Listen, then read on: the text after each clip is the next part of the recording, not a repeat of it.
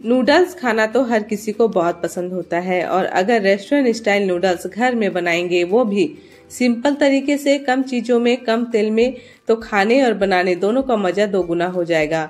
तो आज मैं आपके लिए लेकर आई हूँ वेज हक्का नूडल्स की बहुत ही आसान और बहुत ही टेस्टी रेसिपी। रेस्टोरेंट स्टाइल बनाएँगे घर में बहुत ही कम चीज़ों से।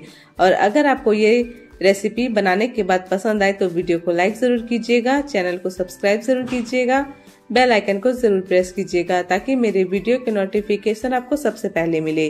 तो चलिए, बहुत ही मज़ेदार नूडल्स बनाना शुरू करते हैं। नूडल्स बनाने के लिए सबसे पहले हम नूडल्स उबाल लेंगे तो उसके लिए मैंने पानी गर्म होने के लिए रखा है और मैं हक्का नूडल्स का इस्तेमाल कर रही हूँ। आप इसमें कोई भी नूडल्स का इस्तेमाल कर सकते हैं। तो नूडल्स को पानी में डाल देंगे और अच्छे से उबलने देंगे। जब एक उबाल आ जाएगा, तब हम इसके लच्छे को अलग कर देंगे ताकि नूडल्स अच्छे से चारों तरफ़ से पके तो इसके लच्छे को अलग कर देते हैं और इसे हम तीन से चार मिनट तक पकने देंगे। तीन से चार मिनट हो गए हैं, चेक कर लेते हैं कि नूडल्स हमारे पके हैं कि नहीं। तो हाथों से तोड़ के देख लेते हैं। जब आसानी से हाथों से टूट जाएँगे, तब नूडल्स अच्छे से पक चुके हैं। तो ये हमारा नूडल्स पक चुका है, तब हम फ्लेम को बंद कर देंगे और इसे हम छान लेंगे। एक स्टेनर की मदद से हम इसे छान लेंगे। हल्का सा इसे फैला देते हैं। अगर आप नूडल्स को थोड़ी देर बाद बनाना चाहते हैं तो इस तरह उबाल कर रख लें और हल्का सा ऑयल लगा दें। तब आपस में चिपकेंगे नहीं और नूडल्स खिले खिले बनेंगे। तो नूडल्स हमारा बॉयल होकर तैयार हो चुका है तब हम सॉस तैयार कर लेते हैं। तो एक बॉल में हम एक चम्मच सोया सॉस ले लेंगे, डेढ़ चम्मच ग्रीन चिली सॉस ले लेंगे। ऐसा होता है ना कि कभी हम अगर बनाते हैं तो एक एक करके सॉस को डालते हैं तो उसमें बहुत ज़्यादा टाइम वेस्ट होता है। तो इस तरह से बनाइएगा तो बहुत जल्दी आसान हो जाएँगे काम को।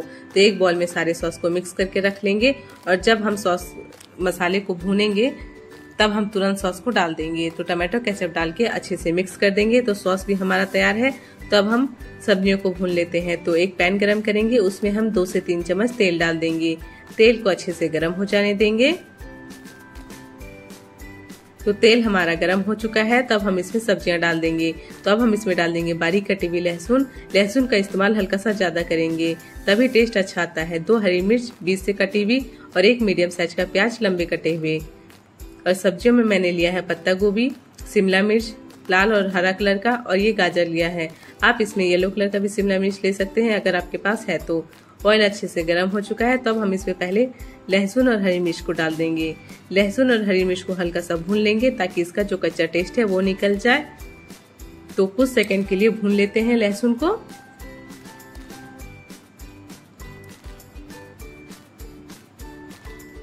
लहसुन हल्के से भून चुके हैं, तब हम इसमें सब्ज़ियाँ डाल देंगे। तब हम इसमें प्याज और गाजर को डाल देंगे, पत्ता गोभी और शिमला मिर्च को बाद में डालेंगे। प्याज और गाजर को पकने में हल्का सा समय लगता है तो पहले इन दोनों को डाल देंगे और एक मिनट तक भून लेंगे।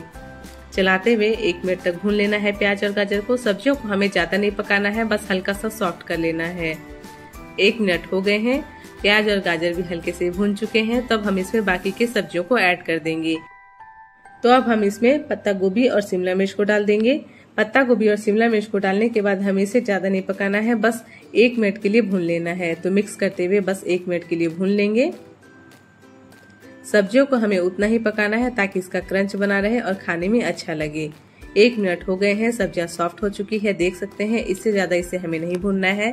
तो अब हम इसमें डाल देंगे काली मिर्च का पाउडर, आधी छोटी चम्मच, अच्छे से स्प्रेड कर देते हैं।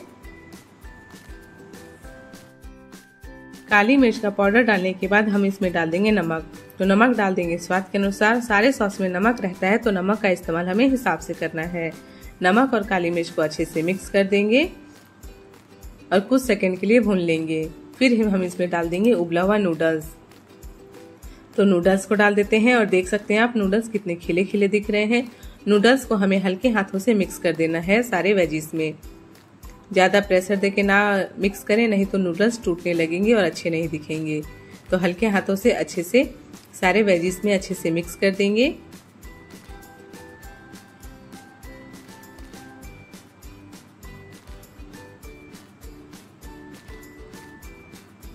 तो ये देखिए, अच्छे से नूडल्स मिक्स हो चुके हैं। तो अब हम इसमें डाल देंगे सॉस।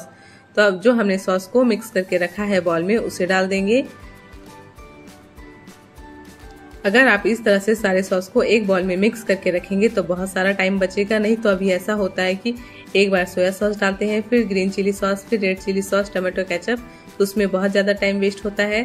तो जब आप नूडल्स उबाल रहे हैं और टाइम बच जाए तो सारे सॉस को एक बॉल में मिक्स कर ले। उस प्रोसेस में कभी ज़्यादा सॉस भी नहीं गिरते हैं और टेस्ट बहुत अच्छा आता है। तो सॉस को भी हमें अच्छे से मिक्स कर देना है नूडल्स में।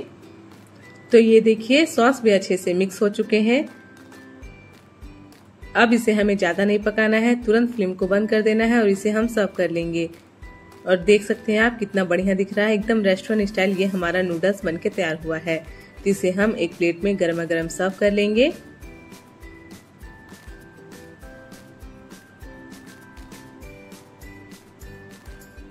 तो जाइए फटाफट इस वेज नूडल्स को ज़रूर बना के ट्राई कीजिए। आपको ये नूडल्स बहुत पसंद आने वाली है।